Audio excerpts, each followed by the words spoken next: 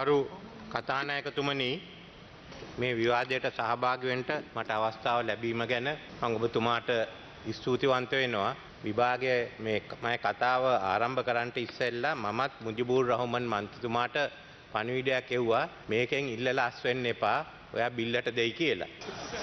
මේ ඒ නිසා විශේෂයෙන්ම මම එතුමා පාලිමෙන්තුවට ගෙනාවේ මම ඉතින් මම බැලුවේ එතුමාව මේ පාලිමෙන්තුවේ තියාගන්න. කොහොම හරි ඒ කාරණය ගැන මං තව දුරට කතා කරන්නට යන්නේ විශේෂයෙන්ම අද අපි අත්‍යවශ්‍ය සේවා පිළිබඳ ඡන්දයක් විපක්ෂයෙන් ඉල්ලා තියෙනවා. සාමාන්‍යයෙන් මේවා ඉල්ලන්නේ නැහැ. මේ රටේ විදුලි බලය ගෙනියන්නට අත්‍යවශ්‍ය සේවාවක්. ඉතින් ඇයි ඒකට විරුද්ධ වෙන්නේ? ඇයි මේ සේවාවන් වලට විරුද්ධ වෙන්නේ? අකණ්ඩව විදුලි බලය දෙන එකට විරුද්ධද?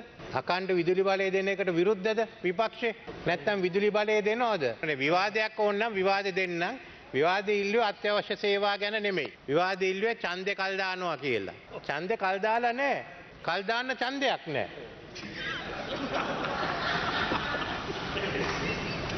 මංම සාමාන්‍යයෙන් මේ මේ විවාදයට ඇතුළුනේ නෑ මං ඉස්සෙල්ලම කිව්වා මම මේකට සම්බන්ධ වෙන්නේ නෑ මට දේශපාලනය උමනා නෑ කියලා. ඒත් අද විශේෂයෙන්ම මැතිවරණ කොමිසමත් දැන් මේ ඡන්දය ගැන උසාවියට ගිහින් කියනවලු ඡන්දයක් පවත්වන්න බැහැ කියලා. නමුත් ඇත්ත වශයෙන්ම මෙතන ගියේ දියුරුම් පෙත්සම දුන්නා මං හිතුවා අද වචන ස්වල්පයක් කතා කරන්න නැත්තම් මං යටතේ ඉන්න මුදල් අමාත්‍යාංශයේ ලේකම්තුමා ඇතුළු අනික් අයට විශාල අසාධාරණයක් සිදු වෙනවා. මේ කියලා තියෙන ඉස්සෙල්ලම the commission has been informed by the secretary of the treasury that is unable to provide the necessary funds to conduct the election.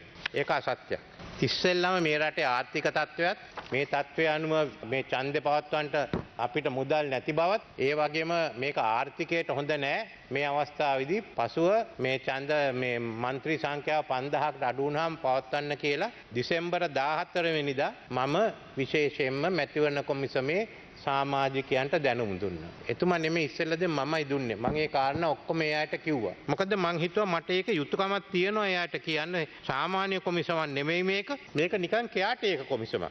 අපි බැලුවොත් 21 වෙනි සංශෝධනයේ මේ පාර්ලිමේන්තුව සම්මත කරේ මන් නෙමෙයි. පාර්ලිමේන්තුව සම්මත කරපු 21 වෙනි සංශෝධනයේ බලන්න විශේෂයෙන්ම අන්තර්කාලීන විධිවිධාන යටතේ තියෙනවා තුන්වෙනි කොටසේ තියෙනවා මේ පනත ක්‍රියාත්මක දිනට පොරොත්තුව දිනේදී මැතිවරණ කොමිසන් සභාවේ සභාපතිවරයා හෝ සාමාජික හෝ ලෙස දුරය දරන සෑම තැනැක්තෙක්ම මේ පනත ක්‍රියාත්මක වෙන දින සිට බලප්තවන පරිදි ඒ දුරේ දැරීම නතර වන්නේය. ටක්ගාල එදා නැති වුණා මේ කත්සම් කරපු දවස් ඔබතුමා. ඒ කියන්නේ ඔක්තෝබර් මාස 31 වෙනිදා. මේ සාමාන්‍ය කොමිසමක් නෙමෙයි. එසේ වූවද මේ පනත ක්‍රියාත්මක වන දිනයට පොරාතුවම වූ දිනේදී ඉහත සඳහන් යම් කොමිෂන් සභාවක සභාපතිවරයා හෝ යම් සමාජිකව වශයෙන් දුරය දන්න තැනැත්තුකට ඒකේ අදාළ කොමිෂන් සභා ආණ්ඩුක්‍රම ව්‍යවස්ථාවේ රෝමානු හත්වන වන පරිච්ඡේදයට අනුකූලව ස්ථාපිත කරනු ලබන දිනයතෙක්ම තම අදාළ දුරවල බලතල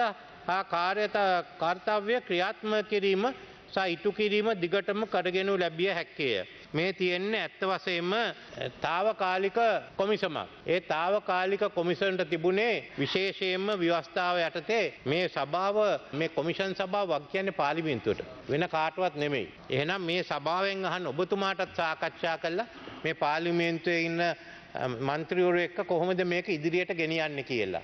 මම දන්න හැටියට එහෙම එකක් සිදු වෙලා නෑ. එක පළවෙනි වරද්ද. දෙවැනි එක මම එදා එයාට දැනුම් දුන්න මට කොමිසමේ සාමාජිකයන් වෙනම මුණ ගැහුව අවස්ථාවලදීත් මං කිව්වා මේකයි තත්ත්වය කියලා. ඉතින් ඒ මේ ලේකම්තුමාට කියන්න වැඩක් නැහැ. ජනාධිපතියට මං කැඳවලා කියෙව්වා. ඊට පස්සේ ජනවාරි 5 වෙනිදා 3ට මමත් අගමැතිතුමත් නීතිපතිතුමත් මේ අය මුණ ගැහුණා. ඒ මුණ ගැහුනේ ඡන්ද කල් දාන එක නෙමෙයි මේ කොමිසම බෙදිලා තිබුණා. එයා කිව්වා දිසැම්බර් 23 වෙනිදා අපි ඡන්දය තියන්න තීරණය කරා.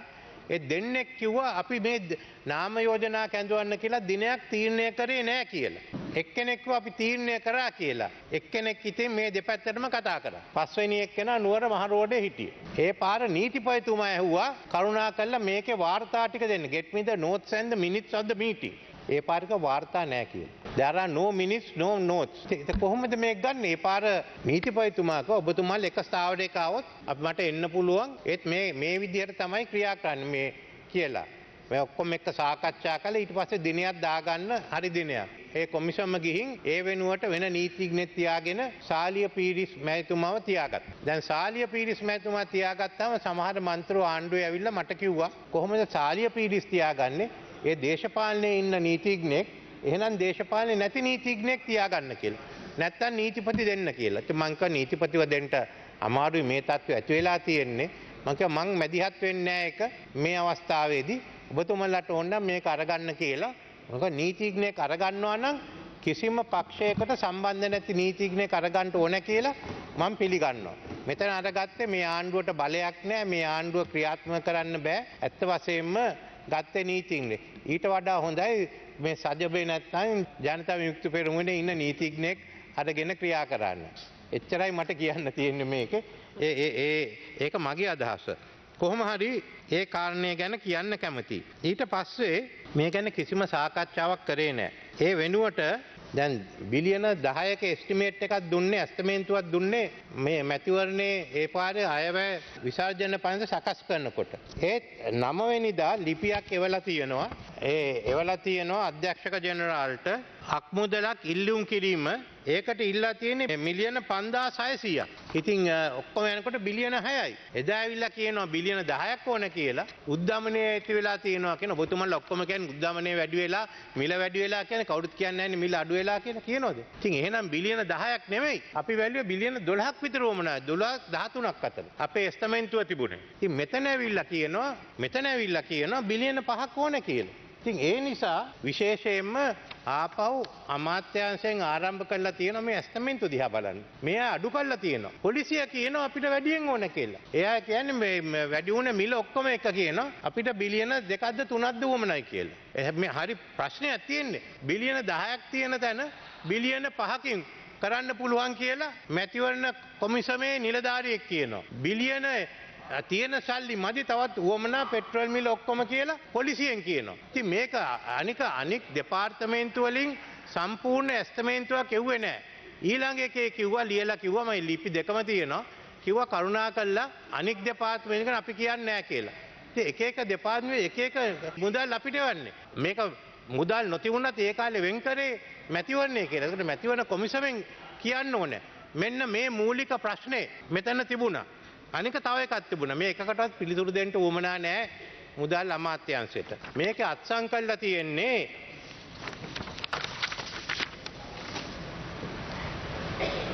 GR ඒකේ ගමලත් ප්‍රධාන ගණකාධිකාරී මැතිවන කොමසාරිස් ජෙනරල් වෙනුවට. එහෙම කරන්න බලයක් නෑ කාටුවත්. මේක කියවුවොත් ඇත්ත වශයෙන්ම. කොමිෂන් සභාවේ බලතල කාර්ය තා කර්තවය කිසිවක් කොමිෂන් සභාව විසින් මැතිවන කොමසාඩිස් ජනරල් වෙත හෝ කොමිෂන් සභාව වෙනත් යම් නිලධාරියකු වෙත හෝ පවරා දෙනු ලැබිය හැකි අතර කොමිෂන් සභාව ඉදානයට සහ පාලනයට යටත්ව මැතිවන කොමසාඩිස් ජනරල්වරයා හෝ වෙනත් නිලධාරියෝ විසිනේ බලතල කාර්යයක් කාර්තව්‍ය ක්‍රියාත්මක කිරීමද ඉටු කරන ලැබිය යුත්තේ එකසිය හතර ඊ හය. මේ කොහෙවත් එකසිය හතර ඊහය ගැන කියලන්න අපිට මේ බලතල් ලැබුණේ කොමිසමෙන් කියලා කියලන කොහෙවත් කියලන ඊට අමතරව කොමසාඩිස්වරයා ලියලා කියනවා මගේ සාමාංක විස්සිතුවන විශ්ව විසවන ජනවාරි නමනිද හා විශ්ව විසවන ජනවාර් දිසෑ ලිපි ලිපි මගින් මැතිවරණය මූලික කටයුතු සඳහා අක්මුදල් ලබා දෙන ඉල්ලියුම් කර ඇතත් මෙතෙක් අක්මුදල් ලබාදී නැත. මේ අක්මුදල් ලබා දුන්න නම් ඒ නිලධාරයාට විරුද්ධව අපිට විනය ගන්න පුළුවන්. මොකද මේ කාටවත් බලය එකක් එතුමා නෙමෙයි එතුමට එතුමා නෙමෙයි ලියුම එව්වේ. ලියුම එව්වේ නිලධාරියට, ගෙනුම් නිලධාරියට කොමිසමෙන් බලය දීලා තිබුණ නැහැ. මෙතන කියන්නේ නැහැ එතුමටවත් කොමිසමෙන් බලය දීලා තියෙනවා කියලා. මෙතනවත් කියන්නේ එතුමට කොමිසමෙන් බලය දීලා තියෙනවා කියලා. මේක දුන්නා නම් අපේ අධ්‍යක්ෂක ජනරල්තුමාට විරුද්ධව ඕනෑක්කෙන්ට උසාවියට අන්න තිබුණා. එයා මූලික අයිතිවාසිකමක් කැඩුවා කියලා. ඊට පස්සේ යාව ගෙනහිල්ලා රාජ්‍ය සේවා කොමිසමෙන් දඬුවම් කරලා සේවයෙන් අයින් කරන්න පුළුවන්. මේ ඊට පස්සේ සභාපතිතුමා ඇව්වා. ෆෙබ්‍රවරි 3 වෙනිදා. ඒකවත් කියන්නේ මට මේ බලය ලැබුණා කියලා. එක ලියුමකවත් දාන්නේ කොමිෂන් සභාවේ තීරණයක් කියලා. ඊළඟට කිව්වා තව නීද නඩුවක්. ඊළඟට කිව්වා දෙව දෙවනිදා ෆෙබ්‍රවරි 10 වෙනිදා කිව්වා ඡන්ද විමසීමෙන් පවත්වන ලබන ලෙස මැතිවන කොමිෂන් සභාවට එරෙහිව දේශපාලන පක්ෂ දෙකක් විසින් පවරා තිබුණ SCFR 6යි 20යි 22 හා SCFR 7යි 20යි 22 අංකදාන නඩු කොමිෂන් සභාව විසින් දැන්ටමත් පළාත් පාලන ආයතනයේ ඡන්ද විමසීමට අදාළ ව්‍යවස්ථාපිත කටයුතු ඉටු කර ඇති නිසා ඉටු කරමින් පවතින හේතුව මත ප්‍රතික්ෂේප කරමින් ඡන්ද විමසීම් කටයුතු එලෙසම කරගෙන යන ලෙස ගරු ශ්‍රේෂ්ඨාධිකරණය විසින් දන්වා ඇත. ඒත් අපි බැලුවාම ශ්‍රේෂ්ඨාධිකරණයේ තීන්දුව එහෙම තීන්දුවක් ශ්‍රේෂ්ඨාධිකරණයෙන් දීලා නැහැ. ශ්‍රේෂ්ඨාධිකරණයෙන් සිදුවෙලා තියෙන්නේ එහෙම තීන්දුවක් දීලා නැහැ. මං ඉංග්‍රීසියෙන් කියන්න මේක ඇතුළත් කරන්න. Sanjeeva Jayawardena PC draws attention to a journal entry made on 18 January 2023. As per the journal entry states, Mr. Salia Piris, President's Counsel, who is appearing for the first to fifth respondents, informed court that the Election Commission has taken steps to call for elections for local authorities in terms of local authorities election ordinance. He further submits that the Commission would continue to take steps in terms of the law. In the light of the above undertaking, the Council submits that issuing of writ of mandamus does not arise. Therefore, he moves that the proceedings be terminated. ඒ ඒ අයම ඇවිල්ලා කියනවා මේ පෙත්සම් කාර්ය ඇවිල්ලා කියනවා දැම් මැන්ඩම සාගනාවක් වුමනා නෑ එතකොට මොකක්ද උසාවිය දෙන්න තීන්දුව. මැන්ඩම සාගනාවක් වුවනා නැත්තන් උසාවිට දෙන්න තීන්දුවන්න ඊට පස්සේ මිට. නෙරීන් පුල්ලේ PC is additional SG who is appearing for the sixth respondent says that even though the sixth respondent is named in the petition, no relief is paid against him. හත්වනි six petition uh, is the Prime Minister. No relief එයාගෙන් කිසිම සහනයක් ඉල්ලලා නැහැ. ඉතින් මෙතන තියෙන ආණ්ඩුවට කිසිම බැඳීමක් නැහැ. අනි අනි පැත්තෙන්ක අපි දෙන්න මේක ගන්න දෙනු කරනවා කියලා. එහෙනම් අඩු ගානේ ඉල්ලන්න තිබුණානේ. ආණ්ඩුවටත් විරුද්ධව නියෝගයක් දෙන්න කියලා. ඒ එකක්වත් මෙතන සිදු වෙලා නැහැ. ඒ නිසා මං හිතන්නේ මේක නිලධාරියෙක්ටවත් දොස් කියන්න පුළුවන් කියලා මේ පිළිබඳව. අන්තිම ප්‍රශ්නය වුණේ ඡන්ද ගැන. අපි දන්න හැටියට දැන් වෙනකන්වත් ඡන්ද දිනයක් නම් කළා නැහැ. නිල වශයෙන් නීති අනුකූල ඡන්ද දිනයක් නැහැ. සමහරු මාර්තු 9 ගැන කියනවා. ඒක මට කියන්න බෑ 9 ගැන. මන් දන්න හැටියට නීතියානුකූල තීරණයක් නෑ මේ තියන්න කියලා.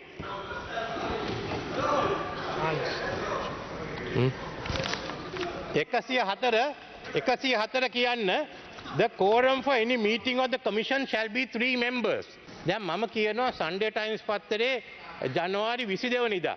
Chairman of the Election Commission Nimal Puncheva told the Sunday Times last night that the three commissioners were contacted virtually by Zoom and their consent obtained. Fifth Commissioner M.M. Mohammed was present at the Commission office. ඒ කියන්නේ මේ දෙන්නයි තීරණය ගත්තේ සභාපති M.M. Mohammed. එයාම කියනවා ඊට පස්සේ අනික් අය කතා කරලා ඒගොල්ලෝ අනුමැතිය ගත්තලු. තීරණය ගත්තේ මේ දෙන්න. අර දුන්න අනුමැතිය. ඒකෙත් ওই තුන් දෙනාගෙන් ඇහුවොත් ඒ අය මේ ස්ථාවරේ ඉන්නේ නැහැ. මං ඕන ඒකට සාක්ෂිත් ගෙනත් දෙන්නම්. එහෙනම් ඇත්ත වශයෙන්ම නිල වශයෙන් තීරණයක් කරන්නේ නැහැ ඡන්දේ තියන්න. ඉතින් අපි ගිහින් සල්ලි දුන්නොත් මම ලේකම් මට ඉවත් කළා මේ කියන්න වෙයි පොලිසියට යාට විරුද්ධව නඩු දාන්න කියලා. ඒකයි වෙන්නේ ගවර්න්මන්ට් ප්‍රින්ටර්. ඒ ඒගොල්ලෝ ඔක්කොම රැකියා නැති වෙනවා. ඉතින් ඒගොල්ලන්ට දොස් කියන්න බෑ රජයේ නියෝජිතයන්. ඇත්ත වශයෙන්ම මේ රටේ අද ආර්ථික තත්ත්වයක් තියෙනවා. මම ගැන මෙතන කියන්නේ දැන්ට අපිට මුදල් නෑ මේක කල්දාන්ට වමනා නෑ මේක මේ නවත්තන්ට වමනා නෑ ඕන්න තරන් ඒකොට වැඩ කරනවා ගෙනියන්න ඔන්නම් කතා ඔක්කොම එක්ක සාකච්ඡා කළා අපිට පුළුවන් ඒ ගැන කොහොමද විසඳුමක් හොයන්නේ කියලා. දැන්ට මුදල් නැහැ. අපි ඔක්කොම දන්නවා. දැනට දැනට මුදල් නැහැ. ඒත් දැනට ඡන්දෙකුත් නැහැ. ඡන්දෙ තියන්න මුදල් නැහැ. මුදල් තිබුණත් ඡන්දයක් නැහැ. ඉතින් මොනා කරන්නද? ඉතින් මොනාට දෙවිලා කෑ ගහන්නේ? මොකද්ද මේ කරන්නේ? ඇත්ත වශයෙන්ම මේකේ ප්‍රධාන වශයෙන් තියෙන්නේ මේ කොමිසම වග කියන්නේ පාර්ලිමේන්තුවට. ඉතින් මේ පාර්ලිමේන්තුවේ තියෙනවා දැන්ට මන් දැක්ක යෝජනාවක් තේරුම් කාරක සභාව පත් කරන්න කියලා. ඒ නිසා ඒ තේරුම් කාරක සභාව පත් කරලා මේ කරුණු ඔක්කොම අරගෙන වාර්තා කරලා ශ්‍රේෂ්ඨාධිකරණට මේ වාර්තාව යවන්න කියලා. මේ බලය තියෙන අපිට. මුදල් බලය තියෙන ශ්‍රේෂ්ඨාධිකරණය අපිට. මැග්නා කාටා එකේ ඉඳන් එක්දා සටසිය එක්දා සයසිය අසුවටේ ඉන්න ඉනටික මගැන් එක්දා සයසිය අසුවටේ විප්ලය තුළදී මේ බලතල සියල්ලම තියෙන්නේ පාලිමේන්තුවට. හතරවෙනි වගන්තිය යටතේ මේ බලතල තියෙන්නේ පාලිමේන්තුවට. ඒ නිසා ඒක මෙහෙන් විභාග කල්ලා තේරුම් කබා දමල එක එවන්න ශ්‍රේෂ්ඨාධිකරණයට. තව එක තව තව නෑ ඕ මොකක්ද.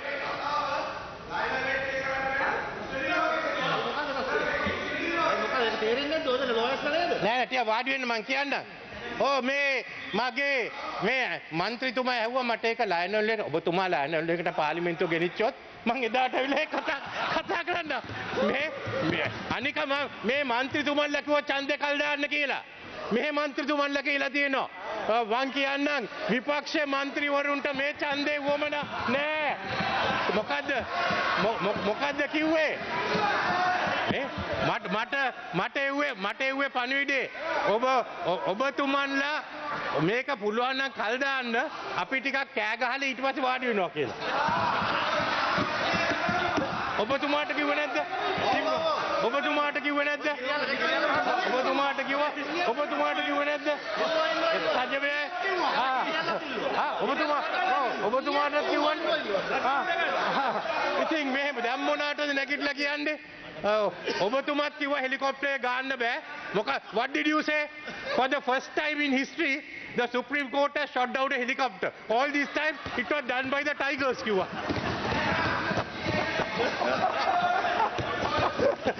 දැන්ඇවිල්ල දැන්ඇවිල්ල කියන හෙලිකොප්ටරේ ගන් ශ්‍රේෂ්ඨාදී කරණය බෑව්ව පලවෙනි හෙලිකොප්ටරේ මේකයි පොයින්ට පොයින්ට මෝට ඇති නොට මමන කතා කරන්න. මමන කතා කරන්න. කතා කරන්න. ඉතින් මා මේ ගරු ජනපතිතුමා ගරු ජනපත් ගරු ජනපතිතුමා ගරු ජනප කියලා කිව්වේ නැද්ද? ජනතා විමුක්ති පෙනුම නවත්තන්න. ඡන්දේ නවත්තන්න කියලා? ගරු ජනපතිතුමා කිව්වේ නැද්ද? ජනපතිතුමා නැද්ද? ගරු ජනපතිතුමා කිව්වේ නැද්ද? ඔබතුමා කිව්වා. ඔබතුමා කිව්වා. හරිද? අනික මෙතුමා නඩුවක් දාලා නඩුව කොහොමද ගෙනියන්නේ කියලා දන්නේ නැහනේ. නඩි මැන්ඩෙමස් ආඥාවකට දාලා ඊට පස්සේ නඩුව අයින් කරගත්තා. මම මං මං මං පලිදේකට මගේ විරුද්ධත්වයද? මාව නීතිඥය කරන්න මම නඩුව අරන් දෙන්න. හරි.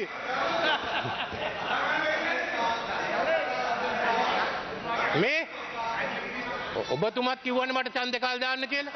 දැම් මේ කල්ලගෙන ඉන්න.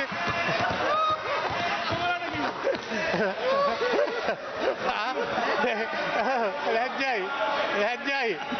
මේ මේ මේ මේක අල්ලගෙන ඉන්න හැම එක්කෙනාම චන්ද කල් දාන්න කිව්වා. මේ මේක ඇල්ලුවේ හැම එක්කෙනාම චන්ද කල් දාන්න කිව්වා.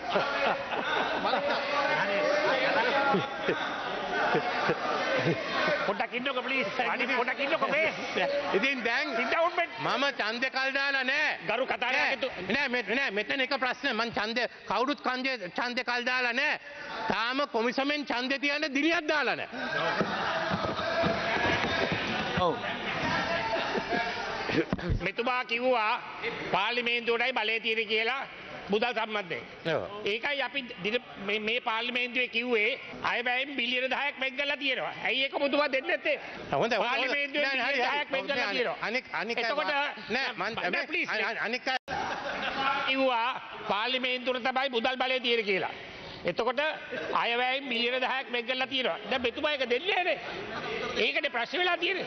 අනිත් එක අනිත් එක අනිත් එක ගරු ජ- ජනාධිපතිතුමනි ඔබතුමා දන්නවා අපේ රටේ ව්‍යවස්ථාවේ හැටියට. මැතිවරණ කොමිසම මැතිවරණය ප්‍රකාශයට පත් කෙරුවයින් පස්සේ සියලු රාජ්‍ය ආයතන සහයෝගය දෙන්න ඕන. මුදල් අමාත්‍යාංශය මුද්‍රලාධිපති සහයෝගය දෙන්න ඕන. සහයෝගය දුන්නේ නැත්නම් අවුරුදු 3ක සිර දඩුවක් දඩුවක් දෙන්න පුළුවන්. දැන් අද වෙලා තියෙන මොකක්ද දඩුවද කරු කතාවට ඇතුළේ. අද වෙලා තියෙන්නේ විවස්ථා පැත්තකට දාලා චක්‍රලේඛ චක්‍රලේඛනයක් ගැහුවා ණයට වැඩ කරන්න බෑ කියලා බුද්ධලාධිපතිට. එතකොට ඒ චක්‍රලේඛනයක්. එතකොට ගරු මුදල් ලැබෙත්තුමා නිවේදනයක් නිකුත් කර අත්‍යවශ්‍ය වේදක් කියලා. ඒකේ පැතිවර වේදක් නැහැ. එතකොට මම අහන්නේ ගරු අගමැත්තු ජනාධිපතිතුමාගෙන් විවස්ථාවේ තියෙන වගන්ති චක්‍රලේඛනය මගින් මුදල් අමාත්‍යාංශයේ නිවේදන මගින් අයින් කරන්න පුළුවන්.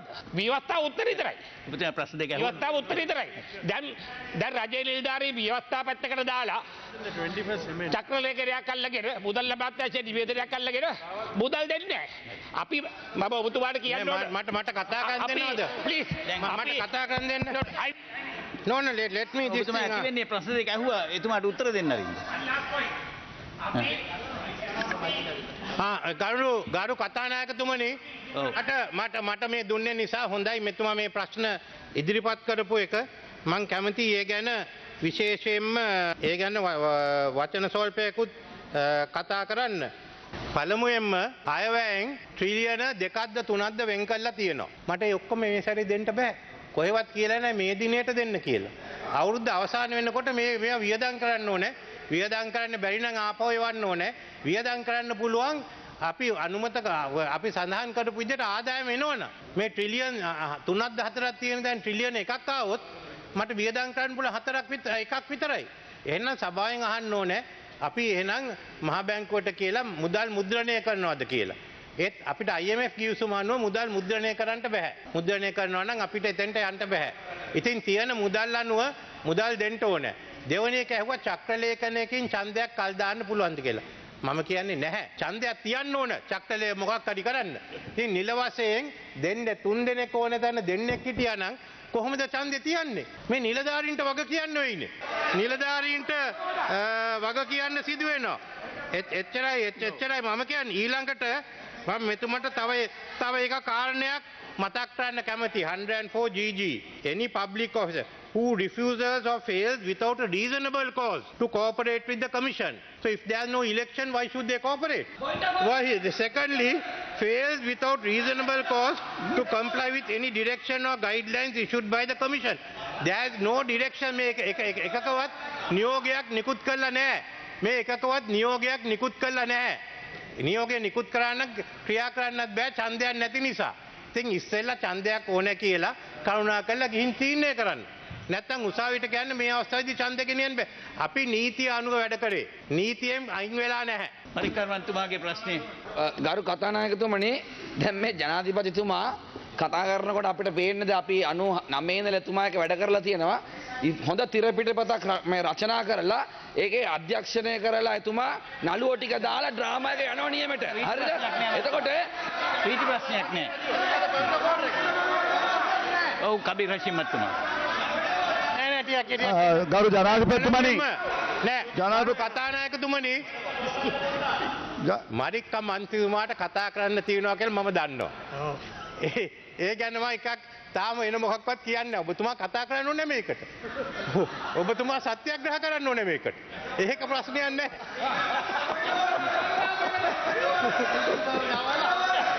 කබීර් රෂීම් මහත්මයා පෙබරවාරි මාසේ. මේ මාසේ ආදායම් බදු දෙපාර්තමේන්තුවෙන් පෙබ්‍රවාරි පලවෙනිදා සිට විසිවැනිදා පහලොස්වැනිදා දක්වා රුපියල් බිලියන එකසිය දහටක් ආදායම් බදු දෙපාර්තමේන්තුවෙන් එකතු කරලා තියෙනවා. එයාලගේ ඉලක්කය පෙබ්‍රවරි මාසේ බිලියන එකසිය හැට අටක් ඒකෙන් එකසිය දහටක් එකතු කරලා ඉවරයි. තොර බිලියන දහයක් දෙන එක අමාරු වැඩක් නෙවෙයි. වුවමනාවත් තිබ්බනං ඕන තරම් සල්ලි තිබුණ මේක දෙන්න. ඔබතුමන්ලට චන්දයකට බයයි ම ඔබතුමාට කියන ප්‍රශ්නය ජනාධිපත්තුමනි ප්‍රශ්නය මිනිස්සු ඇයි චන්ද ඉල්ලන්නේ. මේ ආණ්ඩුව කෙරෙයි විශ්වාසයක් නැතිකම නිසා. ඔබ ඔබතුමාගෙන් අපි ඉල්ලවා මිනිස්සු කැපවෙන්ඩ කැමති මේ රට හදන්න. හැබැයි කොටසකට විසරක් කොටසකට විතරක් සහන දීලා කොටසක් විතර කාරක්ෂා කර නිරදයන්ට බෑ. ඔබතුමාගෙන් ඉල්ලා සිටිය ආර්ථික අපරාධ පිළිබඳව බංකලොත් භාවය පිළිබඳව ජනාධිපති කොමිසමක්. පත් කරන්න. කියලා. ඒක ඔබතුමා කරලා නෑතාම. let me reply හරි පළමුුව ඉන්න එක්කෙනෙක් විපක්ෂයෙන් ඇහුවන්නේ අනික කඩා විය කරන්න එපා එක්කෙනෙක් වාඩුව මං කියන්න පළමුුවෙන්ම පල කාරණා දෙක කාරණා දෙකක් තියෙනවා. හෝ නෑ මේකට ඉදිරි කාරණා දෙකක් තියෙනවා. එකක් අපිට වැඩි අපි දැන් මේ සැරේ අපිට එදා දැම්මේ නැති විදිහට එදා දැම්මේ නැති විදිහට අපිට ඇත්ත වශයෙන්ම අපි බිලියන් 20ක් වෙන් කරා මේ රටේ හාල් ගන්න බෙදන්න කියලා. ඒ දැම්මේ පවුල් ලක්ෂ 20කට දැන් පවුල් ලක්ෂ 28ක් තියෙනවා. ඊට අමතරව අපිට තියෙනවා ඒ වගේම තියෙනවා මෙතන මම එකක් කියන්නම් අ, මේ විශ්‍රාම ගිය අයට පාරිසෝ දීමනා දෙන්න. ඊළඟට මේ මන්ත්‍රරු දෙපැත්තම ඇවිල්ලා මට කිව්වා මේ කුඩා ව්‍යාපාරවලට අය මේ විමධ්‍යගතයන් කුඩා ව්‍යාපාර නවත්තලා හුඟක් බංකොලොත් වෙලා තියෙන කුඩා ව්‍යාපාරිකයන්. මං ඒ අය වෙනුවෙන් මුදල් ටිකක් වෙන් කරා. ඉතින් ඒක වෙන් කරන්න එපා නම් කියන්න මං එතකොට ඒ දිහා සලකලා බලන්න. මේ සභාව එක තීරණය කළා මට කියන්න. අනික අපි එක තීරණයක් ගත්තා. IMF එකේ මේ මේ මේ just wait a minute I just sit down. Yeah, no, sit down. I am talking to, I am talking to your member. You sit down, man. I brought you into politics. Shut up and sit down. Huh? මේ මේ මේ shut up and sit down and send me මේ ඒ නිසා ගරු කතානායකතුමනි මෙතුමාට කියන්නට අපි තීරණයක් අරගත්තා. විශේෂයෙන්ම මේ අ, ණය පිළිබඳ අ, පැරිස් අ, සමුළුවයි ඉන්දියාවයි චීනයයි එක එකත්වයක් ඇති කරලා IMF එකෙන් විශ- විශේෂයෙන්ම IMF එකෙන් මේ යෝජනා ගැන අපිට තීරණයක් දෙනකං මේ මුදල් අල්ලන්නේ හදිසිය අපිට ටිකක් අඩි මාසයක් දික් කරන්න වුණොත් මේ ප්‍රශ්නය ගැන අපිට මුදල් නැති වෙනවා. අන්න ඒකයි. අනික මේ ඡන්දයක් නෑ දෙන්න. ඒත් මම එකක් කියන්නම්. මම මූලිකත්වය දෙන්නේ ආර්ථිකයට. ඒක හැදුවේ නැත්තම් මේ රටේ රටක් නෑ. මම එක ප්‍රශ්නයක් අහනවා. මම ටිකක් ඉන්න ඉන්න ටිකක්. let me finish. මම එක ප්‍රශ්නයක් අහනවා. රට නැති කළ ව්‍යවස්ථාව ආරක්ෂා කරන්න පුළුවන්ද? ව්‍යවස්ථාව ආරක්ෂා කරන්න පුළුවන් රට ආරක්ෂා කරොත් විතරයි. ඉතින් ඔබතුමන්ලා කියන්නේ මොකද්ද? මේක ඇමරිකාවේ තියෙනවානේ in the Merriman case it was decided by President Lincoln accepted by the court that you can't you can't have a constitution without a nation. Your first duty of a president is to uh, protect the nation and then to protect the constitution. That's all. මෙතන කොහොමවත් ඔබතුමන්ලා ඉස්සෙල්ලා කියන්න ගිහින් තුන් දෙනෙක් එක්ක වාඩි වෙලා තීරණය ගන්න කියලා ඡන්දෙ තියන්න. එතකොටනේ මට මේ ප්‍රශ්නේ එන්නේ. එහෙම තීරණයක් අරගෙන නැත්නම් ආණ්ඩුවටවත් මටවත් ප්‍රශ්නයක් නැහැ. ඉතින් හරි ඔබතුමායි ප්‍රශ්න ඔව් ඔව් කබි කබි රචිමන් ඕ ජනාධිපත්තුමනි ඔබතුමා ආර්ථිකය ගැන මුල්තැන ආර්ථිකයට දෙනවා කියලා ඔබතුමා කිව්වා හොඳයි. හැබැයි ඔබතුමාගෙන් මාස දෙකකට කලින් අපි ඉල්ලුවා මේ රටේ ආර්ථිකය විනාශ කරන්නට වග කිය යුතු ඇත්තන්ට විරුද්ධ පරීක්ෂණයක් කරන්න කියලා ජනාධිපති කොමිසමක් පත් කරන්න කියලා. ඔබතුමා පොරොන්දු වුණා ජනාධිපති කොමිසමක් නැත්තම් පාර්ලිමේන්තුවේ තේරීම්කාරක සභාවක් පත් කරනවා කියලා. අද වෙනකන් මේ පාර්ලිමේන්තුව නොමග යවපු ඒ අයට අපි තාම දඩුවම් දීලා නැහැ. ඒක කර යුතුයි. මං ඔබතුමාට කිව්වා ඔබතුමන්ලා පාර්ලිමේන්තුවේ යෝජනාව ගේන්න මං ආණ්ඩුවෙන් සහයෝගය දෙන්න. හරි. ඒ ටිකක් ටිකක් ඉන්න. දැන් ඒක පාර්ලිමේන්තුවේ තියෙන ඉතින් ඔබතුමන්ලා පක්ෂ නායකයන් ඉල්ලුවද මේක ගෙනියන්න කියලා ඉස්සරහට? හා? ඔව් සිලෙක්ට් කොමිටේ ඉල්ලුවද?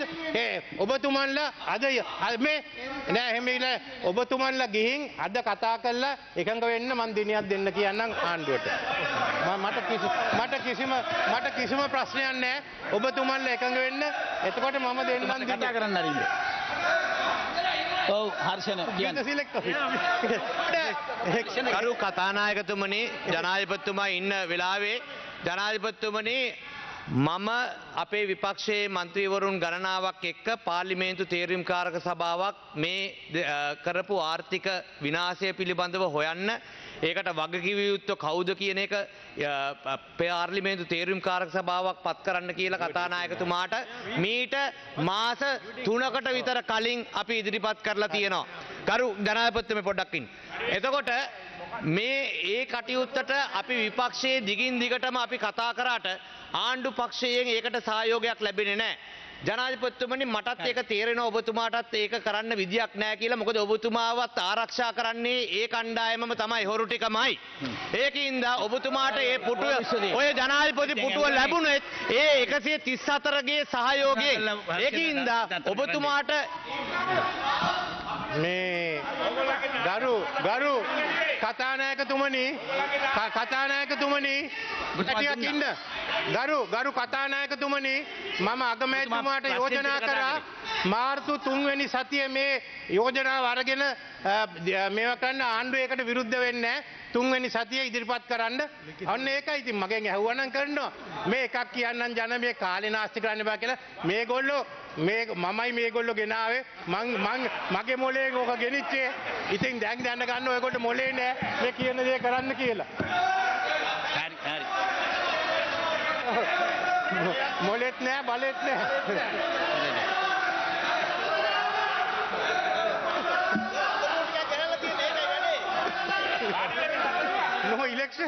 එක්කෙනෙක් එක්කෙනෙක් ඉල්ලන්න. එක්කෙනෙක් ඉල්ලන්න අපි මොන කාටද දෙන්නේ? ඉන්නවා ගාන්තක එක දුන්නා. ඔව්. අලවතෝල්ලව පත් වෙලා ඉන්නවා. ඔව් දයාසිරි ජයසේකර මන්තුමා කියන්නේ. ගරු ගරු ජනාධිපතිතුමනි ගරු ජනාධිපතිතුමනි ඔබතුමා මේ ඔබතුමා මේ කාරණා ටික කිව්වා. හැබැයි අපිට තියෙන ප්‍රධානම ප්‍රශ්නේ තමයි අපේ කිරියාලමතුමා ඇහුවා වගේ එවැනි රෙගුලාසි කීපයක් ගැඹුවෙන් පස්සේ මේ රටේ ඡන්දයක් තියන්න අවශ්‍ය කරන වාතාවරණය අකුල්ලා තියෙන්නේ දැන්. එතකොට මේ මැතිවරණ කොමිසම ඔබතුමා කියනවා තුන් දෙනයි පිළිගත්තේ. අනික් කට්ටිය කොමිසම රැස්තුනේ අනේ, නෑ නෑ ඒක තමයි තියෙන ප්‍රශ්නේ. එහෙනම් ඔබතුමාලා අලුත් කොමිසම පත් කළා හරි මේක කරන්න. අපිට දැන් මට. මට මට. නෑ මට මට ගරු ගරු ගරු එතුමානේ ගරු ජයපතිතුමා ඔබතුමාගේ ඉල්ලීමට එකඟ වෙනවා. ගරු හරි. ගරු එකඟ ගරු එකඟයි. මට මට පේන්නේ මට මට පේන්නේ ඔබතුමා ගරු ජයපතිතුමා ගරු ජයපතිතුමා මම මම ඉල්ලන්නේ මට මට පේන දේ තමයි මට පේන දේ තමයි අර 2012 විතර තිබිච්ච UNP working committee එක තමයි දැන් තියෙන්නේ කියලා. ඒකේ වටේ ඉන්න කට්ටිය තමයි ඉන්නේ. ඉල්ලීම අනුව UNP working committee වගේ දැන් ඔබතුමාට දුන්න අවස්ථාව දුන්නා. ආ, Rauff Hakeem මන්තුමා හන්ද. Mr. Ma- Honorable President, Mr. President, Honorable President, කතානායකතුමා මම මීට වඩා කතා කරන්නේ විපක්ෂයෙන් ඉල්ලීම් දෙකක් කරා එකක් මාරුතු මාසේ හර්ෂණ රාජකරණ මැතිතුමයි තුන් දෙවනි සතියේ මේක අරගන්නවා මෙතුමා ඉල්ලුවා ඡන්ද කොමිසම මාරු කරන්න ඒකත් අපි කරලා දෙන්න ඊළඟ සතියේ හරි. Speaker, yeah, Honorable Mr. President, Mr. President, Mr. President, can I ask you, uh, we thank you, we thank you for having accepted the opposition request to appoint a select committee to go into the economic crimes of this country. But it has been a practice in the past, in order to ensure the credibility of that select committee, make sure that the government agrees to appoint an opposition member as the chairman so that there will be more credibility to the inquiry conducted by the select committee. This is another request I am making, Mr. President. I think that should be considered, but that you all have to do. I am not a member. Certainly in the committee of selections, you all can. I am doing, I have only one member, I am directing it. I am, I am, why don't you, why don't we get together and make him the chairman? no, that is a matter, I have got you the date. You all, I am not unsympathetic with that. I, I would like to tell you, we'll consider it. And Nalin also, let me give, you, no, tell me one thing. We are also presenting the new anti-corruption bill. I think within uh, two weeks or so, the minister will present it, and we uh, you all ensure that it conforms with the UN Charter, the UN resolution also. So we'll give it to you all to study and look at it. කරු කතානායකතුමනි අප- අපිට බොහොම පැහැදිලිව පේනවා මෙතුමා දිගටම කියනවා ඡන්දයක් නැහැ ඡන්දයක් නැහැ ඡන්දයක් නැහැ මට මට ප්‍රශ්නයක් තියෙන්නේ මෙතුමා ජනාධිපතිවරයාට අමතරව මැතිවරණ කොමසාරිස් එත- එතන මහමැති ධූරයක් කරනවා. නෑ නෑ කරු කතානායකතුමනි ඊට ප්‍රශ්නයක් නැත. ඔව් Rauff Hakeem මන්තුමා. Mr. Mr. President, Mr. President, you know why why we are entertaining these doubts is because today today selection committee has been summoned to decide decide on the chairman of the finance committee. Now this Mr. Mr. President, why we are worried is that Mr. Harsha De Silva was nominated by the opposition to be the chair. Now today, now there appears to be an attempt to appoint somebody else, overlooking the fact that uh, opposition has sent in a letter to ask him to appoint. That is what is the uh, standing order says. So now, uh, violating the standing order, now government wants to use its majority in the uh, uh, in the committee to uh, a right that the opposition has. So we are only appealing to you okay. that not to uh, disturb that uh, decision. Please assures me that no member of the government will be appointed and you can't do it to the Public uh, Finance Committee under the standing orders. Thank you. Oh, Rasamanikam Mantima.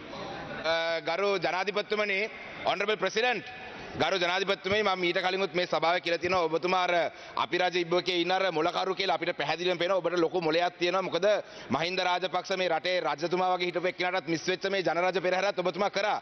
ඒක නිසා ඔබතුමාට සෑහෙන මොලයක් තියෙනවා. හැබැයි ජනාධිපතිතුමා දැන් මේ මුදල් නැති හේතුව නිසා මම මේ අහන්නේ එක දැන ගැනීම පිණිස රට අස්ථාවරයි IMF එකෙන් සල්ලි අච්චු ගහන්න එපා කියලා තියෙනවා. මේ විදිහටම ඉදිරි අනාගතයේ දියොත් එහෙම ඔබතුමා ජනාධිපතිවරණෙත් තියන්නේ නැද්ද? ඔබතුමා පාර්ලිමේන්තු මැතිවරණේ තියන්නේත් නැද්ද? ඔබතුමා පළාත් සභා මැතිවරණේ තියන්නේද මොකද ඔබතුමා පොතේ හැටියට ඔක්කොම ටික කරනවා හැබැයි ඔබතුමා රටේ IMF එකේ තියෙන කොන්දේසි අනුව තියෙනවා රට තුල අස්ථාවර බව ප්‍රශ්නය ඇහුවා. ඔව්. ඇත්ත වශයෙන්ම ඇත්ත වශයෙන්ම මේ රටේ ව්‍යවස්ථාව කියවුවොත් විශේෂයෙන්ම කාරණා දෙකක් තියෙනවා එකක් තියෙනවා